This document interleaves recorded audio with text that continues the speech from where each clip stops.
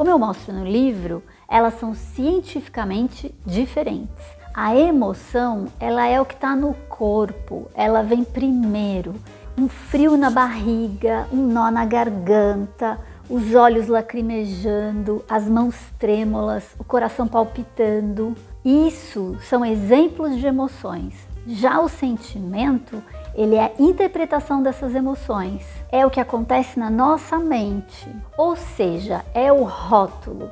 Ansiedade, raiva, tristeza, felicidade, entre tantos outros sentimentos. Aliás, quanto maior o nosso cardápio de sentimentos, melhor, porque eles funcionam como se fosse um atalho para o nosso cérebro. E pensando justamente nisso, no meu livro eu incluí 100 sentimentos que existem em outras línguas, mas não no português.